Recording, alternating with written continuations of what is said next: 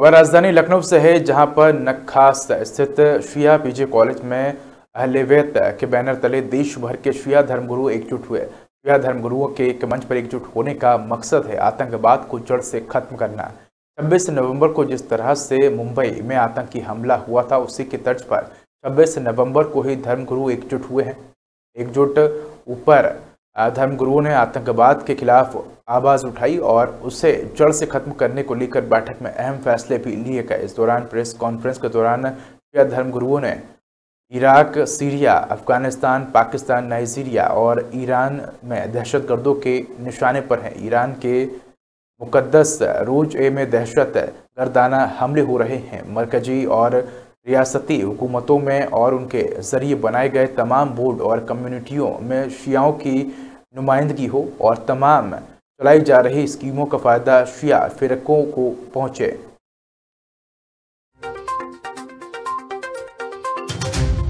आज का उद्देश्य भाई, पहला तो यह है कि आतंकवाद के खिलाफ दहशतगर्दी टेररिज्म के खिलाफ इस मुल्क के तमाम बासी शहरी एक हो जाएँ।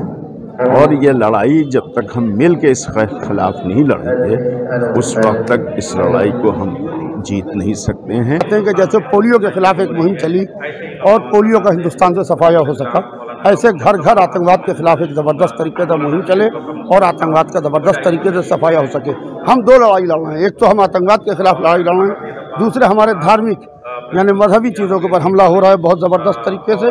लिहाजा हम इसके खिलाफ भी ज़बरदस्त तरीके से लड़ाई लड़ रहे हैं। आतंकवाद के खिलाफ तमाम धर्मगुरु आज एक मंच पर मौजूद हैं। हमारे साथ बात करने के लिए मौजूद हैं साहिब अब्बास जी।